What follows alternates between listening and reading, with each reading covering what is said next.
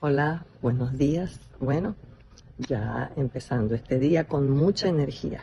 Una cosa que les quería comentar antes de irme a la llovizna, a caminar y mostrarles un poco de ese lugar tan bonito que hay aquí en Puerto Ordaz.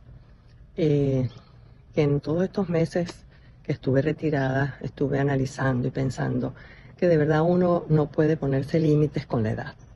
La edad es la que uno quiera tener en algunas circunstancias, obviamente. Eh, hay ciertas cosas de ciertas edades que van disminuyendo, pero tenemos que luchar para seguir activas. Y una de las cosas que me he propuesto es no dejar de cumplir mis sueños por culpa de la edad.